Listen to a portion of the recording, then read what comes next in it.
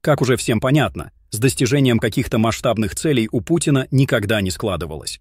Конечно, если не считать обогащение его лично и узкого круга его близких друзей, родственников и сослуживцев, то все остальное – перечень провалов большей или меньшей громкости. Желающие могут найти тексты или видео, где Путин-футурист рассказывает о том, как он видит результаты своего правления через 4 или 8 лет, когда шаг каденции был 4 года, чтобы ухватить хотя бы несколько целей, заслуживающих внимания, а в итоге ничего такого не случилось даже близко. Это потому, что топ-менеджер из него никакой. И дело даже не в том, что он оказался неспособным организовать какие-то крупные процессы, которые должны были привести к реализации его планов, а в том, что он никогда не был способен сформировать даже горизонт сбычи мечт. Проще говоря, он более или менее представлял, как и сколько он хочет украсть, но все остальное промахнулось даже с целеполаганием. Ни трансконтинентальных хайвеев, ни полетов на Луну и Марс, ни скоростных железных дорог до Пекина, ни даже второй армии мира, на которые он не жалел бюджетных денег, построить так и не удалось.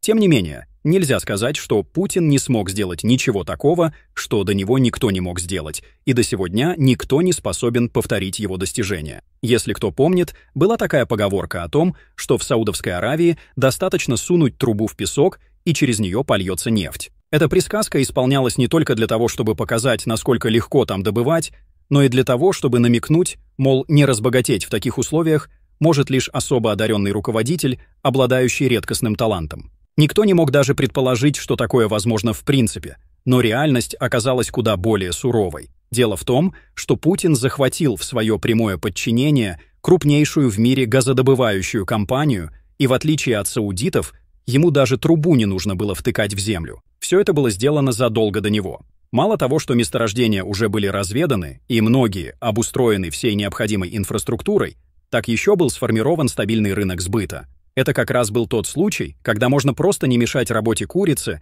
несущей золотые яйца и стричь купоны, посмеиваясь с арабов, которым все же нужно втыкать трубы в песок. Гигантская прибыль, которую формировала эта компания, даже после нещадного разграбления, все же имела настолько много денег, что обросла различными непрофильными активами до размеров какой-то империи. А сам Путин даже не стеснялся, рассказывая о том, что через 3, максимум 5 лет компания «Газпром» станет самой дорогой в мире, обогнав номинальных лидеров. А в кулуарах шушукались о том, что такие результаты будут получены исключительно благодаря мудрому руководству великого бункерного фюрера. Но вот смотрим сегодняшнюю российскую прессу, и там видим такое. Российский «Газпром» в 2023 году получил чистый убыток в 629 миллиардов рублей из-за падения доходов от продажи газа. В 2022 году компания получила 1,2 триллиона рублей чистой прибыли. Убытки следующего года уже перевалят за триллион рублей. И получается, что всего за два года Путину удалось угробить компанию, имевшую 1-2 триллиона прибыли в примерно такую же сумму, но уже со знаком минус. Такого подвига никто до него не совершал, и он стал персонажем, для которого определение «лузер» просто некуда клеить. Это не лузер, а просто какой-то яркий талант. И, между прочим, это же не одна такая компания, которую он увел в минус.